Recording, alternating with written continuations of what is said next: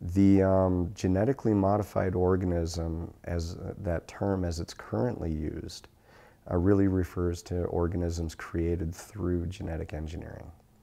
And most often it means introducing genes that are not within um, the species pool. The bacteria shoots genes into the plant.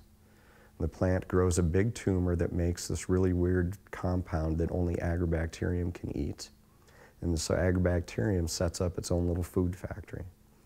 So this natural disease is really the basis for a lot of genetic engineering we do today. Um, people figured out that this process happened. Um, they learned how to take the disease-causing genes out of the transferred DNA and learned how to replace them with genes of interest.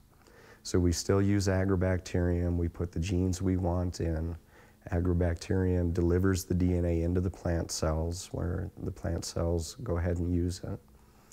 And what's the difference between engineering and the natural disease is we've taken the disease causing genes out and replaced them with genes that we're interested in. The genetically engineered chili is being made through a process called cisgenics, where researchers isolate and then reintroduce a gene from the same species. Though at first seemingly less controversial, the process still involves foreign bacteria, antibiotics, test tubes, and has no guarantee of placing the gene or its promoter anywhere near its original place in the DNA chain.